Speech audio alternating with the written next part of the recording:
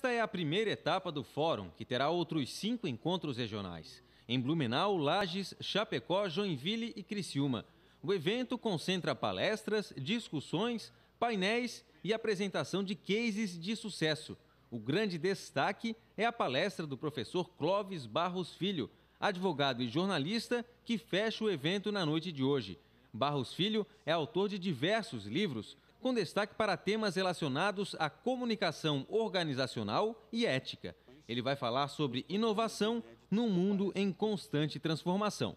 Aquilo que nos trazia grande sucesso ontem pode hoje nos, não ser suficiente para resolver nossos problemas, não é?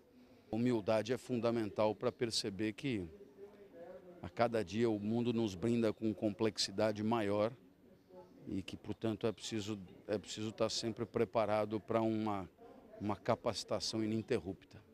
A intenção do fórum é trazer à tona discussões importantes para o desenvolvimento de corporações e competências profissionais. Por isso, as palestras apresentam temas como inovação, empreendedorismo e qualificação profissional. Hoje nós estamos discutindo aqui inovação e desenvolvimento que é fundamental para que as empresas cresçam e para que as pessoas também cresçam. O grande desafio que nós que nos colocamos, a grande inovação que é também o SBT, é poder trabalhar, poder estar junto com a comunidade nesse momento em que o desenvolvimento é uma tônica e a inovação.